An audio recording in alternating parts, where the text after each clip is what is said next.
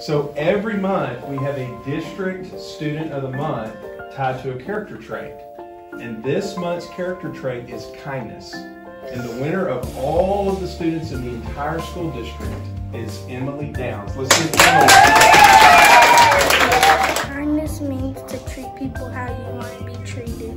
This year I've chosen Emily to be our class ambassador, which is really cool. Whenever we get new students, she greets them and you know helps them out in the room and shows them around and I think she's the perfect person for that because she's very friendly and caring towards all of her classmates. She is always kind and sweet, very helpful and respectful, and she is always making sure that others are taken care of. You want to be treated the same way.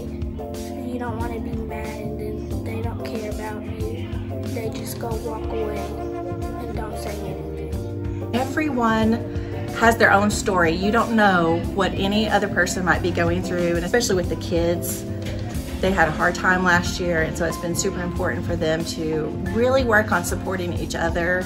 Emily, what do you want to do when you grow up, when you get out of school? Do you know? Be a principal. You want to be a principal? Can you tell me why?